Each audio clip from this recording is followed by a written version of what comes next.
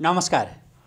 आदरणीय दर्शकवृन्द आजको प्रेसको यो अर्को एउटा भिडियो संवादमा यहाँहरूलाई धेरै स्वागत छ म रोहित भण्डारी।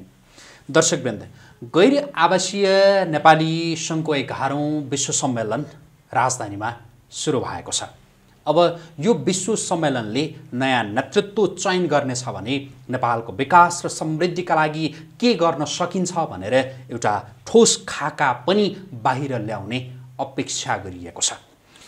गैर आवासीय नेपाली सङ्घको यो विश्व सम्मेलन जारी रहिरहेका बेला अब त्यो नेतृत्व तहमा पुग्नका लागि विभिन्न व्यक्तिहरूले यति बेला प्रतिस्पर्धाको मैदानमा उत्रिरहेको अवस्था छ। हामी आजको यो कार्यक्रममा एकजना यस्तो व्यक्तित्वसँग कुराकानी गर्दैछौँ जो गैर आवासीय नेपाली सङ्घको निवर्तमान उपाध्यक्ष हुनुहुन्छ। र उहाँ फेरि उपाध्यक्षको प्रतिस्पर्धामा प्रत्याशीका रूपमा यति बेला देखिनु भएको छ। उहाँको नाम धर्मराज अधिकारी। उहाँ किन गैर आवासीय नेपाली सङ्घको उपाध्यक्ष बन्न चाहिरहनु भएको छ?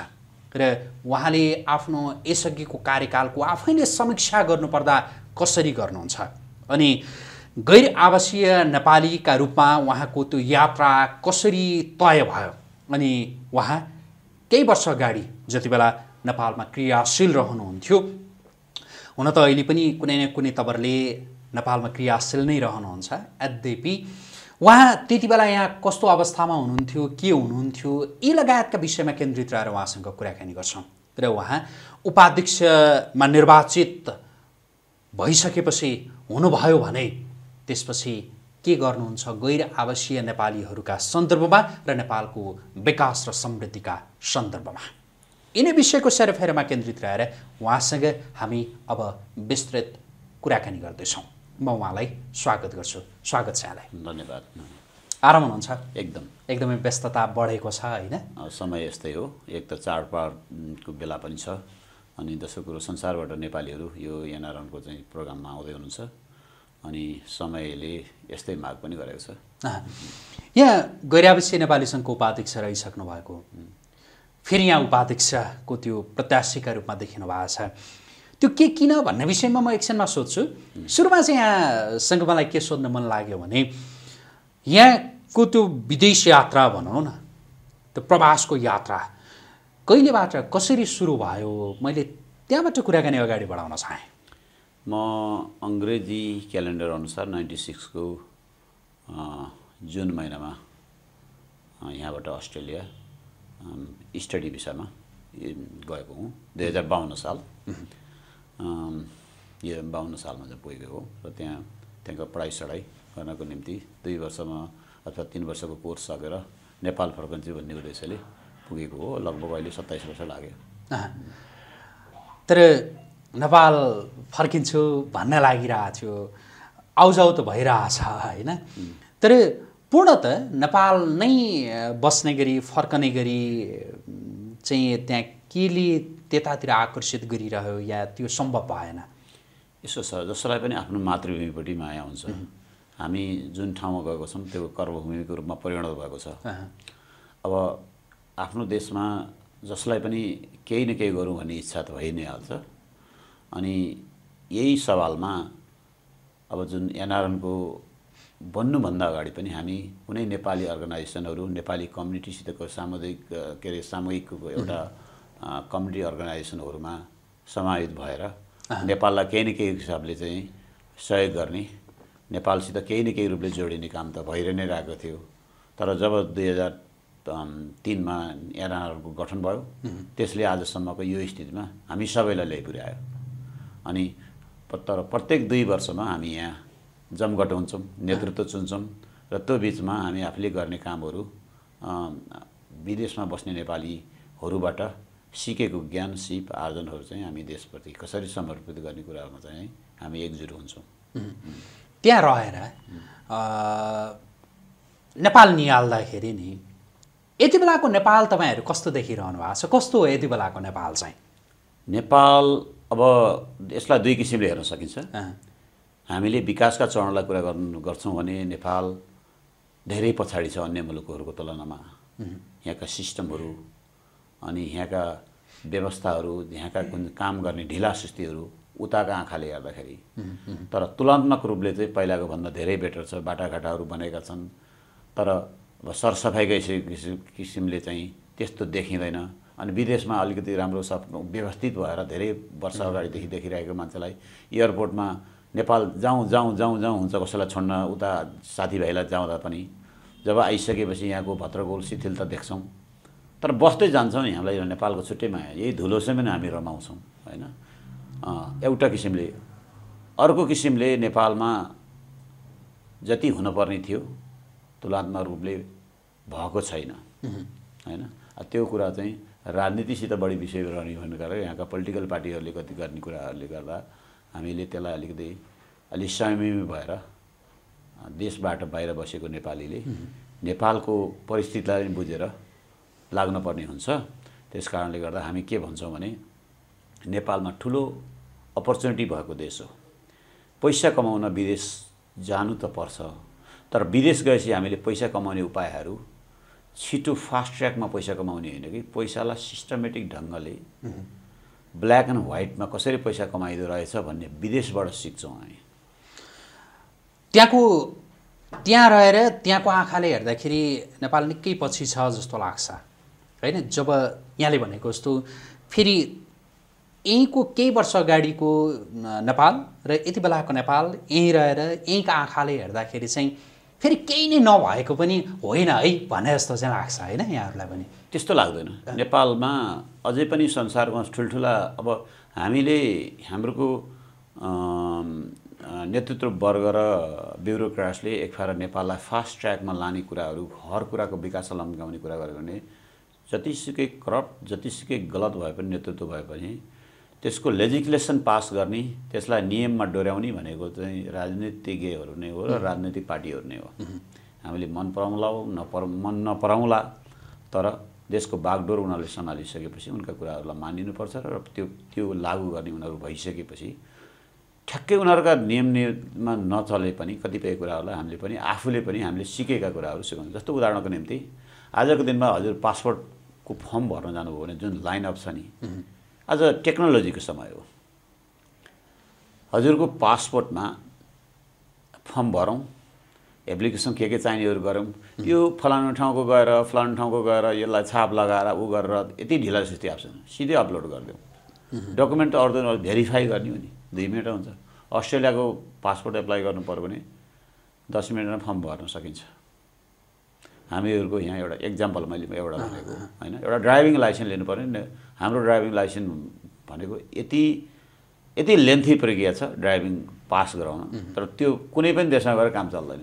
हामी तर म अहिले अस्ट्रेलियामा सत्ताइस वर्ष गाडी चलाएँ। मलाई नेपालमा आएर गाडी चलाउने हिम्मत हुँदैन। किनभने यहाँ सबैजना एकैचोटि अगाडि बढ्छौँ। यहाँ लेनको सिस्टम छैन टर्न राइटको पक्ष छैन लेफ्टको पक्ष सिस्टमहरू छैन होइन? किनभने हामी जो चाहन्छौँ त्यही किसिमले भद्रगोल किसिमले हामी अघि बढ्न खोज्छौँ। त्यो चिन्तनबाट माथि रहियो भने नेपाल एकदम सुन्दर ठाउँ हो। संसारले मन पराउँछन्। तपाईँ हामी विदेशहरूमा बस्छौँ। कहिलेकाहीँ कामका सिला सिलसिलामा बाटाहरूमा हिँड्दाखेरि दारू खाएर मस्त भएको एउटा जडाले पनि बाटा होइरारी फ्रम भनेर नेपोल भन्यो भने हामीले नेपाल भन्दाखेरि अस्ट्रेलियामा चाहिँ नेपाल भन्दा नेपोल भनेर भन्छ। अनि त्यो वेकअप हुन्छ र oh what a good country भनेर भन्छ क्या। त्यति चाहिँ छ नेपाली पोको प्रतिको मान्छेलाई माया किनभने होइन। नेपालमा ट्याक्स सिस्टम पनि यो ढिलासिस्ती र अलिकति करप्सन रोकिन सक्यो भने हामीलाई धेरै अपर्च्युनिटी भएको देश हो नेपाल। तपाईँ पैसा कमाउन अर्को देशमा जानु पर्दैन। यहीँको धुलोलाई सम्भार गरेर यहाँको रविस यही सरसफाइको बिजनेसलाई पनि एउटा इन्डस्ट्रियल कमर्सियल बिजनेसमा लान सकिन्छ। भनेको नेपालमा मान्छेहरूले हात धुनलाई मुख धुनलाई पनि यसरी धुनुपर्छ है भनेर हामीले धारा पानीको व्यवस्थित गर्दा पनि त्यहाँबाट सञ्चालन गर्ने जुन प्रविधिहरू छ त्यो त्यसले पनि देशको इकोनोमी बनाउँछ। त्यस कारणले नेपाल असाध्यै अपर्च्युनिटी भएको ठाउँ हो। हेर्नुहोस् यसो हाइड्रोको यत्र खोला नालाहरू छन् होइन? एउटा अब हाइड्रो इलेक्ट्रिसिटी बनिसक्यो भने हामीले त्यो तार तानेर चाहिँ अब लाइन प्रसारण गर्न सक्दैनौँ होइन? यी सबै त्यो गर्ने पनि अर्कोले ठेक्का पाउँछ उद्योग पाउँछ त्यो अपर्च्युनिटी पनि अन्त लगानी गर्नु पर्दैन यहाँ पाइन्छ ट्याक्स सिस्टम भनेको धेरै फ्लेक्सिबल छ अस्ट्रे अस्ट्रेलियाको तुलनामा यहाँ। र सस्तो पनि छ। तर नेपाल त्यस कारणले पनि अपर्च्युनिटी छ। मलाई यस्तो लाग्दैन कि नेपालमा विकृति नै विकृति छ भन्ने लाग्दैन। त्यस कारणले पनि हामीले त्यसैलाई नै बढी फोकस गरेका छौँ। अवसर छ भनेर थाहा छ। तर त्यसको सदुपयोग गर्न सकिएन भनौँ न। होइन विशेष गरी यहाँको जो राजनैतिक नेतृत्वको त्यो इच्छा शक्तिका कारण पनि भएन भन्ने यहाँहरूलाई लाग्छ होला। होइन? राजनीतिक नेतृत्व शिक्षा शक्ति भन्दा पनि कस्तो हुन्छ भने जहिले पनि ट्रान्जेक्सन पिरियडमा गइरह्यो नेपाल। दुई हजार छयालिस सालभन्दा अगाडि एक किसिमको अँ, राजतन्त्रात्मक व्यवस्था थियो निर्दलीय व्यवस्था। त्यसमा अलिकति अलिक मान्छेहरू बिचमा त्यति खुल्ला थिएनन् अलिकति डर एक किसिमको पैदा हुन्थ्यो केही हुन्थ्यो कि भन्ने कुरा हुन्थ्यो र जनसङ्ख्या पनि कम थिए त्यसपछि दुई हजार छयालिसको बौद्धल आइसकेपछि त्यसले अलिकति विकृति जन्मायो। मान्छेमा तछाड र मछाडका कुराहरू अघि बढे। त्यसपछि बैसठी त्रिसठी आन्दोलनले जुन गणतन्त्रमा गयौँ गणतन्त्रमा गइसकेपछि पनि त्यसले खासै जनताले सोचेको जस्तो कुरा गर्न सकेनौँ। हामीमा सबभन्दा समस्या भनेको म्यानेजमेन्टको अभाव हो। एउटा एउटा एउटा व्यवस्था जो परिवर्तन राजनैतिक परिवर्तन छिटो छिटो हुँदाखेरि पनि त्यसले पनि असर गर्यो होइन? यहाँको विकास समृद्धिका लागि। र अरू कुरा त यहाँले जो भनि नै हाल्नुभयो अब म यो गैर आवासीय नेपाली सङ्घको विश्व सम्मेलनका सन्दर्भमा केन्द्रित हुन्छु? हस्। देशको नेपालको भनौँ न यहाँहरूका प्रति पनि अपेक्षा छ गैर आवासीय नेपाली सङ्घका प्रति पनि। र गैर आवासीय नेपाली सङ्घले पनि नेपाल सरकारसँग पनि केही अपेक्षा गरिरहेको स्थिति छ होइन? अब जस्तो मेरो पहिलो यो यो सन्दर्भमा केन्द्रित पहिलो जिज्ञासा चाहिँ तपाईँहरू नेपाल सरकारसँग नेपालसँग भनौँ न कस्तो प्रकारको अपेक्षा गर्नुहुन्छ? जस्तो नेपाल सरकारले गैर आवासीय नेपालीहरूका लागि के गरिदिए हुन्थ्यो? यसो गरिदिएदेखि चाहिँ जो नेपाल र नेपालीको विकास र समृद्धिको जुन त्यो इच्छा छ त्यो केही हदसम्म पुरा गर्दै अगाडि बढ्न सकिन्थ्यो। पहिला यो कुरा गरौँ त्यसपछि यहाँहरूसँगको अपेक्षाका विषयमा म सोध्छु। सुन्नुहोस् अब हामीले नेपाल सरकारसित केही पनि अपेक्षा गरेका छैनौँ। हामी नेपाली हौँ नि। हामी कुनै पढाइको सल सिलसिलामा जागिरको सिलसिलामा बेटर लाइफ स्टाइलको स्टाइल अलि बेटर हुन्छ कि भन्ने हिसाबमा हामी आफ्नो मातृभूमि छोडेर अरू कुनै ठाउँमा गयौँ र पलायनमा गएका होइनौँ हामी। विदेशी विदेशिएर पलायन भएका होइनौँ। त्यस कारणले हामीले नेपाल सरकार ठुलो खासै केही अपेक्षा छैन। हामी नेपाली हौँ। एकचोटिको नेपाली सधैँको नेपाली बनौँ र हामीलाई नेपाली ट्रिट चाहिँ नै दाजुभाइ दिदीबहिनीहरूले गरौँ र नेपालको सरकारको प्रमुखहरूले पनि हाम्रा नेपाली दाजुभाइ आज संसारमा हामी यति जनसङ्ख्या थियौँ। आज चाहिँ अस्सी लाखभन्दा चाहिँ नेपालीहरू विदेशमा छन्। यिनीहरू प्रत्येक वर्ष नेपाल आउँछन्। यिनीहरू भित्रिँदाखेरि नेपाली जुनसुकै सिटिजनसिप लिए पनि यिनीहरू नेपा यिनको मन नेपाल छ। नेपालप्रति यिनीहरू माया गर्छन्। यिनीहरू सधैँ नेपाली हुन् भने त्यति भन्दै पुग्छ। भन्ने हाम्रो माग थियो। तर सरकारले केही जे भए पनि एकचोटिको नागरिक सधैँको नागरिक हुनुपर्छ नेपाली नागरिक भन्ने कुरो नागरिकको निर्णयतालाई दिएर उसले एनआरएन एउटा नागरिकताको चाहिँ सुरुवात गरेको छ। मेरो पर्सनल सेवालमा भन्नु चाहिँ यो म अभियानमा लागेको मान्छे हुँ। मेरो आफ्नो केसको कुरा जस्तो मध्यपूर्वमा धेरै साथीहरू हुन्छ उहाँहरूले सिटिजनसिप त्यो पर्मानेन्ट रेसिडेन्ट सिस्टम त्यहाँ छैन मलेसियामा। उहाँहरूलाई खासै यो कन्टिन्युटी सिटिजनसिपको आवश्यकता पनि पर्दैन होइन? तर जुन अरू वेस्टर्न कन्ट्रीहरूमा साथीहरू बस्नुभएको छ उहाँहरूको केही कारणले त्यहाँका आन्तरिक कारणहरूले बन्नुभएको छ त्यो अभियानलाई हामीले साथ दिएको। म सत्ताइस वर्ष अस्ट्रेलिया बसेको छु मैले लिएको छैन मलाई आवश्यकतै छैन। म एउटा भोट गर्दिनँ त्यहाँ अरू सबै राइट मलाई छ। पाँच पाँच वर्षमा म भिसा थप्छु। मैले पाँच वर्षमा भिसा थपिनँ भने पनि त्यो त्यो देशबाट निकाला पनि गरिहाल्दैन। किनभने त्यहाँको रुल एन्ड रेगुलेसनलाई मैले फलो गरेँ भने केही पनि फरक पर्दैन। त्यस कारणले हामीले अपेक्षा गरेको नेपाल सरकारसित हामी नेपाली हुन पाऊँ र नेपाली भएपछि नेपाली जुन अधिकार छ त्यो नेपालीले पाउने अधिकार हामीले पनि पाउनुपर्छ भन्ने कुरा हाम्रो कुरा हो। त्यो अहिले जो गैर आवासीय नेपालीहरूका लागि जुन प्रकारको नागरिकताको सवाल लामो समयदेखि उठिरहेको थियो अहिलेको यो नागरिकता जो गैर आवासीय नेपालीहरूका लागि जुन सरकारले प्रदान गर्ने निर्णय गर्यो र त्यसको सुरुवात पनि भयो त्यो ठुलो उपलब्धि हो कि केही हदसम्मको उपलब्धि हो त्यो? सुन्नुहोस् अब अहिले हाम्रो यात्राको हिसाबले जर्नीको हिसाबले टु थाउजन्ड थ्रीमा हाम्रा अग्रजहरूले यो एनआरएनको निर्माण गर्नुभयो। हामीले दुई हजार पाँचदेखि हाइली एक्टिभली योलाई चाहिँ अधिवेशनहरू गर्न थाल्यौँ होइन? अनि हुँदाहुँदै आज चाहिँ दुई हजार तेइस भइसक्यो। रूपले हामी हेर्नुहोस् त संसारका कति मान्छेभन्दा कति पछि रहेछौँ आखिर यही नै गर्न सक्ने रहेछ नि त त्यो। पहिलो संविधान सभाले नै गर्न सक्थ्यो चाहेको भए। त्यो संविधान सभा बन्नुभन्दा अगाडिको सरकारले पनि गर्न सक्थ्यो। त्यसपछि हुँदाहुँदै अहिले कतिवटा सरकार बदलियो। धेरै कामहरू हुन सक्थ्यो र लगानी भित्राउने कामहरूमा मान्छेको लागि एक किसिमको त्रासहरू हुन्थ्यो। किनभने यहाँ त कतिपयले जेलसी ईर्षाले पनि तैँले पाउँदैनस् भनिदिन्छ अर्को मान्छेले त सबै मान्छेको एउटै किसिमको ज्ञान सिप बुद्धि हुँदैन नि त होइन? कसैलाई डर पनि लाग्छ।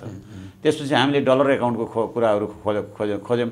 अहिले डलर एकाउन्ट खोजेको खुल्न पाउँछ मजासित अस्ट्रे के अरे अस्ट्रेलियाबाट अमेरिकाबाट। काहीँ पनि जुन मुद्रा छ त्यो मुद्रा तपाईँले यहाँ युएस डलरमा ल्याउनु पाउनुहुन्छ। अब अहिले पछिल्लो कालमा एनआरएनको जुन जुन सिटिजनसिपको कुरा छ ढिलो हिजो पनि हाम्रा दुईवटा कार्यकारी अध्यक्ष र हाम्रो चाहिँ अर्का अध्यक्षले चाहिँ दुईजनाले चाहिँ पहिलो लिएर सुरुवात गर्नुभयो। त्यो प्रोग्राम पनि सायद सायद अब उहाँहरूले एक किसिमको हामी पहिला हौँ भन्नलाई पनि गरे पनि हुनसक्छ। तर अथवा हामीमा नेता हौँ र यहाँका नेतासित हाम्रो सम्बन्ध राम्रो छ भने भएर पनि गरे पनि हुनसक्छ। अथवा यो अधिवेशनको टाइम छ देखाइहालौँ भनेर छिटो छिटो गरे पनि हुनसक्छ। तर एउटा व्यापक सामूहिक मान्छे नेतृत्व संसारभर धेरै नेपालीले सिटिजनसिप लिएको छौँ नि खचा खचा हलमा राखेर अथवा राष्ट्रपति अथवा चाहिँ प्रधानमन्त्रीहरूको सम- समारोहमा कार्यक्रम गरिएको भए राम्रो हुन्थ्यो। अनि त्यो पनि भएन होइन? अब त्यो खैर त्यो ठाउँ छ जो सुरुवात चाहिँ भइसक्यो। राम्रो सुरुवात भयो। यो एउटा उपलब्धि हो। मैले अघि सोधेको थिएँ कि दसौँ वर्षको यो ठुलो उपलब्धि कि यो एउटा उपलब्धिको एउटा सुरुवात भनेर? यो उपलब्धिको एउटा सुरुवात हो। कमसेकम सिटिजनसिप भनेको भेरी सेन्सिटिभ विषय हो। यसलाई चाहिँ ठुलै मान्नुपर्छ। किनभने उहाँ नेपालको कानुनअनुसार के छ भने हजुर हामी कोही पनि बाहिर गएर अर्का देशको नागरिकता लिइसकिसकेपछि त्यो नेपालको संविधानमा नेपालको कानुनमा के भनेको छ त स्वत बदर हुन्छ भनेको छ। यदि कोही मान्छेले चाहिँ खास भने नियम पुलाउने भने नजिकको हाम्रो सरकारी कार्यालयमा लगेर हस्तान्तरण गर्नुपर्छ अथवा सरेन्डर गर्नुपर्छ होइन? त्यो गरिसकेपछि कतिपय मान्छेले बोकेर कतिपय नेपालको राजनीतिमा कन्ट्रोभर्सी भएको हल्ला भएको नेतृत्वमा चेन्ज भएको मन्त्री सरकार गएका यी सबै कुराहरू भए नि त होइन? त्यस कारणले यसलाई यो हिसाब किताबले त एकदम ठुलो कुरा हो यो। तर त्यो गर्नलाई यत्रो ठुलो इस्यु बनाउनु पर्दैन थियो तर बन्न गयो। अब हामी नेक्स्ट फड्कोहरू के छ भने अब राजनीतिक अधिकार चाहियो हामीलाई भनेर हामी कुरा गर्न सक्छौँ। हाम्रो लगानीमा चाहिँ सुरक्षित अधिकार बढी चाहियो भन्न सक्छौँ। ती एवज जीवनहरू चाहिँ समय सापेक्ष अनुसार बढ्दै जाने कुराहरू। सुरुवात भएको तर तपाईँहरूले खोजेको जुन त्यो नागरिकता भनौँ न जो गैर आवासीय नेपाली सङ्घले यति मात्रै चाहिँ होइन। होइन जो जो जो अधिकार भनौँ न जुन नागरिकताले जुन प्रकारको अधिकार दिन्छ त्यो यति मात्रै चाहिँ होइन अझै भइदियोस् अझै गर्नु छ भन्ने नै हो। पहिला हामीलाई यसलाई कसरी व्यवहारमा लागु गर्ने भन्ने कुरा पहिलो कुरा हो। जब व्यवहारमा लागु सुरु हुन्छ अब सबै पब्लिकले लिन थाल्नुहुन्छ।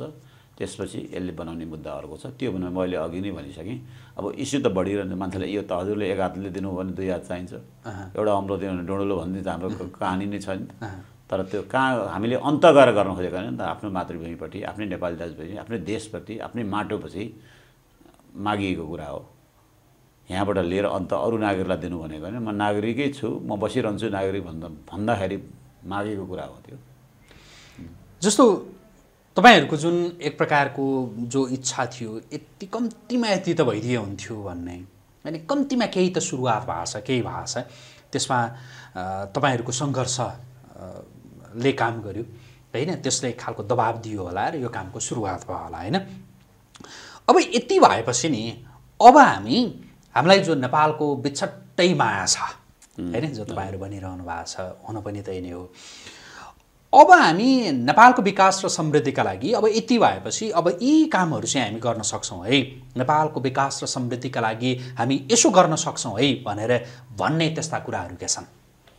अब पहिलो कुरो त त्यो नागरिकताको त एउटा भन्ने कुरा मात्रै हो किन नेपाल सरकारको हामी आएर नेपाली भाषा बोलिसकेपछि पर्मानेन्ट रेसिडेन्सी भएपछि सिटिजनसिप लिए पनि नेपाल सरकारले यी नेपाली नागरिकले लगानी गरेको कुरामा खासै त्यस्तो रिस्क फ्याक्टर त छैन। एक दुई दुईवटा कुराहरूमा अहिले कुनै हामीले मुद्दा देखेका छौँ र त्यो केस छैन नि त। जस्तो हाम्रो भूतपूर्व गृहमन्त्रीको केसमा एउटा त्यो सरकारमा नगएको भए त्यो केस पनि आउँदैन थियो होइन? अनि मलाई जहाँसम्म लाग्छ त्यति गाह्रो छैन नेपालको स्थिति। किन नेपालका नेताहरू सबै बुझ्छन् अहिले सबभन्दा ठुलो उपलब्धि भनेको चाहिँ अब नेताहरू भयो पत्रकारहरू भयो कलाकारहरू भयो जहाँ हामी विदेशी नेपाली अर्को भूमिमा गएको पनि हामीले हाम्रा नेताहरूलाई झिकाएका छौँ। उनीहरूका कुरा सुन्न बाध्य गराएका छौँ। यो देशमा यो बाटो यसरी बनेका छौँ भनेछौँ कलाकारलाई चाहिँ त्यही राष्ट्रिय विभूति मानेर हामीले चाहिँ उहाँहरूको चाहिँ भाषामा उहाँको म्युजिकल सोहरूमा होइन मनोरञ्जन त्यही ठाउँमा लिएर गरेका छौँ। पत्रकारहरूलाई बदलेर तपाईँ राष्ट्रको चौथो अङ्ग हुनुहुन्छ संसार हाम्रो नेपालको तरिकाहरू यस्तो छन् यहाँ यस्तो छन्। होइन कतिपय देशहरूमा तपाईँ हामी अस्ट्रेलियाकै कुरा गर्नुहुन्छ भने अस्ट्रेलियामा कसैको चाहिँ मृत्यु भयो भने अथवा सुसाइड अ, गर्यो कसैले भने त्यो न्युज लेख्न पनि पाइँदैन। अब हाम्रो नेपालमा त्यो न्युज लेखेन भने सायद ढुङ्गा मुढा पत्रकारको बारेमा यस्तो भएन भनेको धेरै कुराहरू हुनसक्छन् नि। त्यो त समय ठाउँले सिकाउने कुराहरू के? हामीले सिकेकै कुरा नै त्यही हो। होइन? त्यसले गर्दा गर्दै जाँदाखेरि अब मलाई यो चाहियो भनेर रडाको गर्नु नेपालको सरकारलाई विदेशी लगानी गर्ने कुराहरूमा चाहिँ हामीसँगै हामी लगानी गर्छौँ नि त। हामीसित त पैसा हुँदैन। देश छोडेर जाँदा विदेशमा बस्छ कहाँ पैसा कमाइन्छ र कमाइँदैन नि त। तर त्यहाँ पैसा भएको मान्छेलाई पनि यहाँ ल्याइन्छ। ती मान्छेहरूको पनि सेक्युरिटी गर्दाखेरि कमसेकम विदेशीलाई पनि हामी सँगसँगै लगानी गर्ने बा उपलब्धि बनाउन सक्नु सक्नु पऱ्यो हाम्रो मात्रै नेपाली दाजुभाइको मात्रै आम्दानीले त हुँदैन नि त। होइन? यी यावत कुराहरूमा छलफल गरिन्छ गर्न सकिन्छ गरिरहेका छौँ। अनि भएको कारण चाहिँ जहाँ रहे पनि देशप्रति समर्पित भइयो भने गर्न नसक्ने कुरा केही पनि छैन। यहाँ गैर आवासीय नेपाली सङ्घमा उपाध्यक्ष रहिसकेको व्यक्ति। आफैले त्यो आफ्नो कार्यकालको समीक्षा गर्नु पऱ्यो भने नि वा गजब गरेँ भन्न लाग्छ या अझै गर्न सक्थेँ यो कारणले चाहिँ मैले गर्न धेरै सकिनँ होला भन्न लाग्छ। आफैले आफ्नो त्यो कार्यकालको मूल्याङ्कन गर्नु पऱ्यो समीक्षा गर्नु पऱ्यो भनेदेखि कसरी गर्नुहुन्छ? सरलाई पनि थाहा छ। विगतको एनआरएनको अधिवेशन बहुत कन्ट्रोभर्सी भयो। त्यहाँ दुई तिन पक्षहरू निक्लिए। एउटा पक्षले गएर परराष्ट्रलाई गुहार्यो अर्कोले गएर अपोजिसनलाई गुहार्यो। यो भयो नि त भएका कुरा हो नि त। हामी झै झगडा त नेपालमा गरे हुन्थ्यो विदेशबाट पनि यहाँ झगडा गर्न आयौँ। त्यो एउटा समस्या थियो हामीहरूको बिचमा। त्यो समस्याको बिचमा बनेको यो लिडरसिपमा हामीले दुई वर्षको कार्यविधि के अरे कार्यकाल बिताउनु पर्थ्यो। दुई वर्ष नभएर हामी सोह्र सत्र महिनाको एउटा समझदारीको आधारमा विधानलाई हामीले उल्टाएर विधानलाई फेरि सच्याएर विधान पास गरेर होइन? उठेको जतिलाई जम्मैलाई नेता बनाएर त्यो किसिमले आइसक्यो। अनि त्यसमा पनि त्यो ट्रान्जिसन पिरियड जस्तो भयो। त्यसमा गर्नुपर्ने कामहरू धेरै छन्। त्यसो न अब त्यो बिचमा काम नभएको होइन। हामीले आज अहिलेसम्म भन्नुहुन्छ भने तपाईँलाई स्मार्ट एनआरएमको चाहिँ एउटा जुन प्रक्रिया थियो संसारमा जहाँसुकै नेपाली छन् उनको फोटो देख्न सक्ने बनाएका छौँ हामीले होइन? अनि उसका डिटेल्सहरू उसका डाटाबेसमा सबै कुराहरू उसका पर्सनल लाइफ बाहेक सबै कुराहरू किनभने एक किसिमको त सर्च गर्नुपर्दा कोही नेपाली हरायो भने पनि पत्ता लगाउन सजिलो हुन्छ नि त होइन? किनभने एउटा संस्था भनेको त बलियो संस्थाले चाहिँ खोजी तलासी गर्छ। राम्रै उपलब्धिहरू पनि भएको छ। यो बिचमा पनि हामीले अब कतिपय अर्थ नेचुरल डिजास्टरहरूका कुराहरूमा जस्तो बाढी पहिरोको कुरामा यस्ता कुराहरूमा पनि हामी लागि नै रहेका छौँ तर उपलब्धि चाहिँ यो बिचमा गर्नुपर्ने चाहिँ यो चाहिँ टक्कै यो थियो भने हाम्रो सबभन्दा ठुलो भने हामीले देशमा लगानी ठुलो लगानी भित्राउनु पऱ्यो लगानी नै हो मेन देश। यो देश विकासमा बढ्ने कुरा भनेको त्यो नै हो। त्यो अझै पनि बाँकी छ नेपालको लागि होइन? अब यो एनआरएनलाई अझ व्यवस्थित बनाउनु पर्ने कुरा के छ भने अझै पनि धनी र गरिबको बिचमा एनआरएन हुनुहुन्न भन्ने कुरा हुन्छ। जस्तो हाम्रो खाडीसित रिलेटेड गल्फ कन्ट्रीमा बस्नुभएका दाजुभाइ मलेसिया कतार जहाँसँगै हुनुहुन्छ वेस्टर्न कन्ट्रीको एनआरएन र हामीहरूको बिचमा समानता हुनुपर्छ भन्ने आजको आवश्यकता हो। उहाँहरूलाई एउटै दृष्टिकोणले हेर्नुपर्छ उहाँहरूले गर्ने दस रुपियाँ र हामीले गर्ने सय रुपियाँ जुन डोनेसन गर्छौँ हामी चन्दा दिन्छौँ एकै ठाउँमा बसेर चिया खान सक्ने वातावरण गरेर गर्नुहोस् भातृत्व मेलमिलाप हुनुपर्ने आवश्यकता छ। त्यो नै आवश्यकता छ। त्यो अझै पनि कन्टिन्युटी छ। अझै पनि विदेशमा कति नेपाली रोजगारको निम्ति गएका हुन्छन् तिनीहरूलाई समान व्यवहार व्यवहारहरू छैन। उनीहरूले कमाउनु पर्ने पाउनु पर्ने निश्चित ज्यालाहरूको चाहिँ नेपाल सरकार र एनआरएन बसेर कतिपय कामहरू गर्नुपर्ने छ त्यो काम पनि अब त्यो अहिलेसम्म कम्प्लिट भएको छैन। तपाईँलाई थाहा छ यो कोभिडले थलाथला परेको संसारको इकोनोमी होइन? यो बिचमा मान्छेहरूले कतिपय बिजनेसहरू बिगारेका छन् होइन? अब यो टाइममा नै अब नेपाल हेर्नुहोस् अहिले आर्थिक मन्दी कस्तो मन्दी छ। अब हामीले बाहिरबाट चाहिँ लगानी लिएर आएर सही ठाउँमा चाहिँ हामी हाम्रो काम एउटा एउटा एप्लिकेसन एउटा कम्पनी बनाउनलाई सयचोटि यो जुन तपाईँहरूको चाहिँ मन्त्रालय कुन रिलेटेड छ एक्ज्याक्ट त्यसमा धाइरहनु नपरोस्। गएपछि एउटा एउटा आइडीको भरमा काम फ्याट्ट हुने काम होस् भनेदेखि गर्न नसक्ने कुरा केही पनि छैन। अहिले अहिले गर्न सक्छौँ। यहाँ अम, ले जो आफ्नो त्यो कार्यकालको आफैले त्यो समीक्षा गर्दा जस्तो जे गरियो यसो गरियो भनेर जे भन्नुभयो। अब फेरि यहाँ उपाध्यक्षको प्रत्याशी हुनुहुन्छ। तपाईँ फेरि जस्तो उपाध्यक्षको प्रत्याशी जो भइरहँदा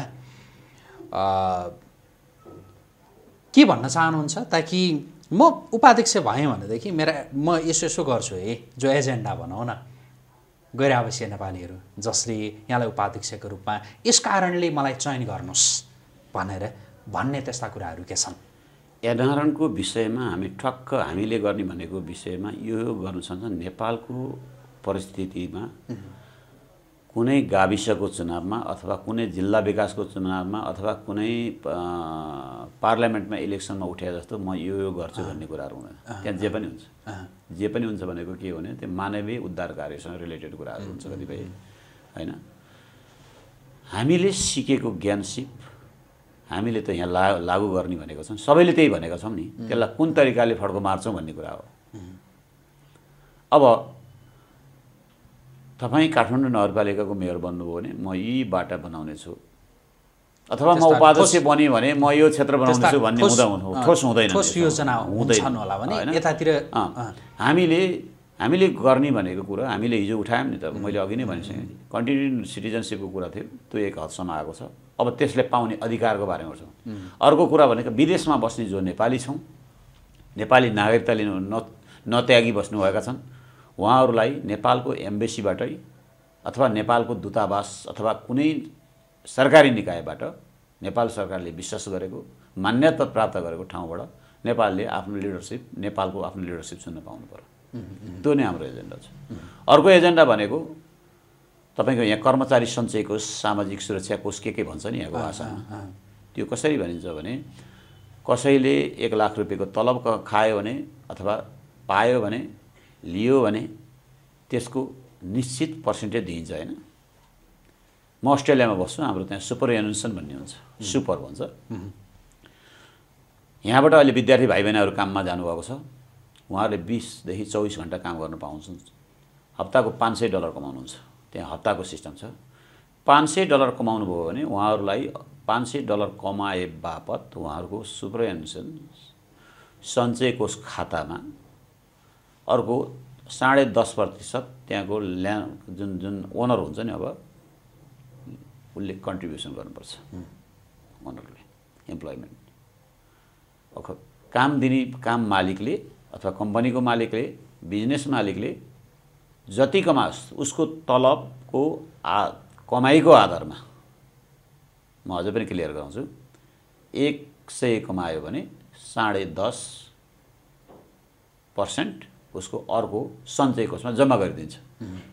यही मुद्दा चाहिँ आज मलेसियामा दाजुभाइ बहिनीहरू दिदीभाइ बहिनीहरू हाम्रो चाहिँ काम गर्न जानुभएको छ। ठुलो मात्रामा हाम्रो नेपालीहरू खाडीमा हुनुहुन्छ जापानमा हुनुहुन्छ कोरियामा हुनुहुन्छ। उनीहरूको मुद्दालाई पनि उहाँहरूले दुई वर्षको अवधिमा जति कमाउनुहुन्छ त्यसको चाहिँ पाँच पर्सेन्ट दस पर्सेन्ट पन्ध्र पर्सेन्ट बिस पर्सेन्ट पच्चिस पर्सेन्ट। कति हुन्छ त्यो दुईवटा सरकारको बिचमा? त्यसको चाहिँ एक किसिमको लेखाजोखा गरेर उहाँहरूलाई लागू गरिनुपर्छ। त्यो नेपाल सरकार र त्यो विदेशी सरकार जुन देशको भूमिबाट चाहिँ हामीहरू कामदारहरू जान्छन् उनीहरूको लागि पनि त्यही व्यवस्था हुनुपर्छ भन्ने अहिले कुरा पनि उठिरहेको छ। मेरो आफ्नो पनि त्यो माग छ र त्यसमा म आफू दिलो ज्यान लाग्छु। र नेपाल सरकारका प्रतिनिधिहरूलाई हामीले त कतिपय सरकारका प्रतिनिधिलाई सञ्चय कोष आफ्नो बारे बेलामा मन्त्री भइसकेका मान्छेलाई थाहा छैन। किनभने हामी त यहाँ राजनीति भागभण्डा हुन्छ पट्टापुट्ट गरियो मन्त्री बनियो फलानु उहाँलाई भेटियो अनि लेखाजोखा के के हुन्छ थाहा छैन मोलतलाई के के हुन्छ होइन ती सबै कुराले गर्दाखेरि हामीले हिसाब किताब पनि गरेको हुँदैनौँ। तर त्यो एकदमै इम्पोर्टेन्ट कुरा यो भनेको चाहिँ तपाईँको लाइफसित जोडिएको कुरा हो। जस्तो अस्ट्रेलियामा कुरा गर्नुहुन्छ भने तपाईँले सुपर पाउनुभएको छ सञ्चय कोष पाउनुभएको छ। तपाईँको अथवा कसै कोही मान्छेको सडनली डेथ भयो भने उसले निश्चित पैसा पाउँछ उसको परिवारले। अथवा ऊ अङ्गभङ्ग भयो भने उसको चाहिँ इन्सुरेन्स हुन्छ। उदाहरणको निम्ति तपाईँ त्यहाँ गाडी चलाउनुहुन्छ। गाडीको ड्राइभरले कहिले पनि गाडी सही चलाउँदैन। कहिलेकाहीँ ऊ अनकन्ट्रोलमा जान्छ तर उसले अर्को गाडीलाई गएर हान्यो भने दुईवटा गाडीको कम्प्रिहेन्सिभ इन्सुरेन्स हुन्छ। एउटा गाडीले त्यहाँ गाडी एक्सिडेन्ट भइसकेपछि कोही मान्छेले दुईवटा मान्छे तल र माथि बसेर झगडा गर्दैन।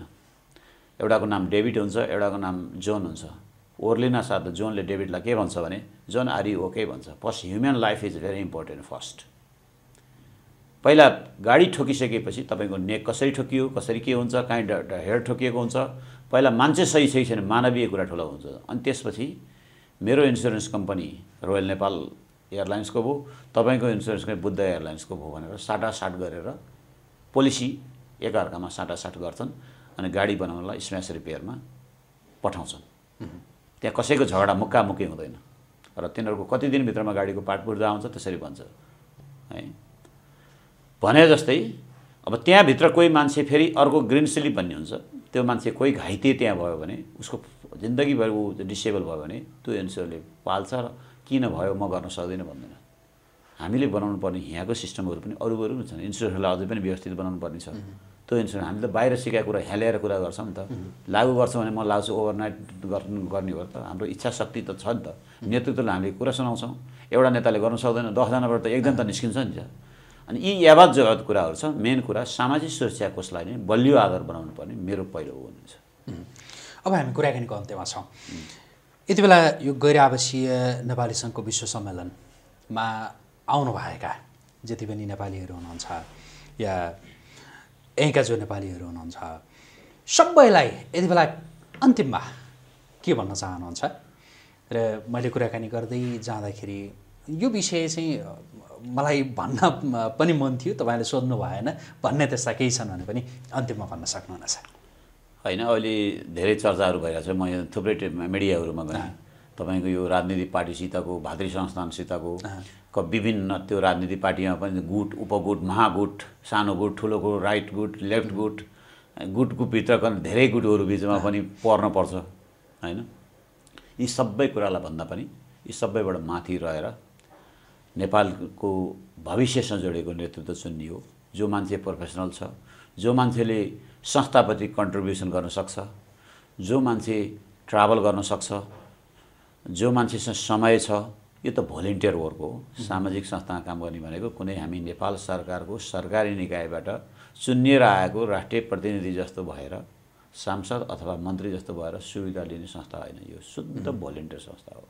तपाईँको गोजीमा पैसा छ भने तपाईँ चन्दा हाल्नुहोस्। त्यो चन्दा हाले बापत तपाईँ म चन्दा हालेँ यहाँ भनेर आफ्नो संस्थाप्रति प्रतिबद्धता गर्नुहोस् कामका निम्ति। उल्टो दिनुहोस् पनि लिने कुरा नसोध्नुहोस्। हामी त्यहाँ दिन आउने हो यहाँ।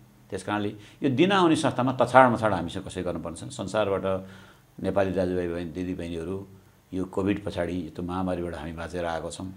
त्यसको पछाडिको पैसाथ हाम्रो यो ठुलो अर्गनाइजेसनले चाहिँ भव्य रूपमा गरेको अर्गनाइजेसन हो। अब जहाँ भए पनि तपाईँहरूले अहिले भोटिङ राइट पाउनुभएको छ अनलाइनबाट। हिजो पैसा तिर्नु पर्थ्यो अहिले पैसा नदिँदा फेरि अनलाइन व्यवस्था गरेका छौँ। तपाईँले भोट गरेर नेतृत्व चयन गर्न सक्नुहुन्छ। त्यसमा म पनि एउटा भाइस प्रेसिडेन्ट छु। सोध्न सक्नुहुन्छ। मेरा कुराहरूले तपाईँ प्रभावित हुनुभयो भने अथवा मेरा विगतका कामले देख्नुभयो भने मलाई पनि भोट गर्नुहोला। र म जाँदा जाँदै अब हाम्रो अन्तिममै यो हो भने अब दसैँ आइरहेको छ। यो दसैँ तिहार छड नेपाल सम्बत सबैको शुभकामना पनि छ। यो चाडपर्वमा खानापिना व्यवस्थाहरूलाई राम्रोसँग व्यवस्थित गर्नुहोला। वेदरहरूलाई बुझ्नुहोला। गाडीहरू भिडहरू बाटोहरूमा किन कतिपय सुरक्षा कुराहरू चाहिँ अप्नाउनु पर्ने कुराहरूलाई गर्नुहोला। यो भन्दै म अहिले अब मैले एक्सपेक्ट गरेको कुराहरू। एनआरएनमा असाध्यै राजनीति हुन्छ। असाध्यै फोड फो फोहोरी खेल पनि छ त्यहाँभित्र। सायद मैले तपाईँले यो पैसा पहिले पहिल्यै सोध्नुहुन्छ भनेर मलाई कसरी उत्तर दिनु भने अप्ठ्यारो पनि भइरहेको थियो। त्यो गन्दगीबाट हामी निस्किनु पर्ने छ आजको दिनमा। अबको सबल नेतृत्व आजको आवश्यकता हो। राजनीतिक पार्टीले झोले बनाउँछन् अनि त्यो झोला हामी बोक्छौँ भनेर हामी आरोप लगाइरहेका छैनौँ हामी झोला आफै माग्न आउँछौँ। किनभने हामीले जे सिक्यौँ त्यही गरेर आएको छौँ। राजनीतिक पार्टीको नेताहरूलाई फोन गरेर तपाईँले यो गरिदियो ऊ गरिदियो भनेर जुन भन्ने कुरा चाहिँ यहाँबाट होइन हामी बाहिरै बसेर गरेका छौँ र पर्दाभित्र बसेर कसलाई साइजमा लिएर आउने भनेर जब कतिपय मान्छेहरू लागिरहेका हुन्छन् त्योबाट माथि उठ्नुपर्ने आजको आवश्यकता हो। त्यसैले पनि एकचोटिको नेपाली सधैँको नेपाली भन्ने मान्यता प्राप्त पाइसकेपछि देश र जनताप्रति कति प्रतिबद्ध हुनुपर्छ भने हामी सबैले बुझ्नु आजको आवश्यकता हो। हुन्छ यहाँको व्यस्त समयका बिचमा पनि हामीलाई समय दिनुभयो। आजको प्रेसका तर्फबाट यहाँलाई धेरै धन्यवाद। धेरै धन्यवाद। धेरै धेरै खुसी छु तपाईँहरूको जुन आजको प्रेस। मैले जे मैले देख्न त युट्युबहरू च्यानलहरूमा देखेको छु नि त आज त तपाईँबाट र केही साथीबाट जुन अपर्च्युनिटी पठाउनु भयो शैलुजीले त्यसको लागि उहाँलाई र तपाईँलाई दुवैलाई धन्यवाद दिँदै म सम्पूर्ण मिडियाकर्मी साथीहरूलाई धन्यवाद दिन्छु र बिदा हुन चाहन्छु धन्यवाद। हस्। आदरणीय दर्शकवृन्द हामी कुराकानी गरिरहेका थियौँ। धर्मराज अधिकारीसँग उहाँ गैर आवासीय नेपाली सङ्घका निवर्तमान उपाध्यक्ष र अहिलेको यो एघारौँ विश्व सम्मेलनमा उहाँ उपाध्यक्षका प्रत्याशी हुनुहुन्छ। उहाँसँगको यो कुराकानीसँगै आजको प्रेसको यो विशेष भिडियो संवाद अहिलेका लागि यहीँ सकिन्छ पल पलको अपडेट ताजा बहस र विश्लेषणात्मक टिप्पणीका लागि आजको प्रेस हेर्दै गर्नुहोला। नमस्कार।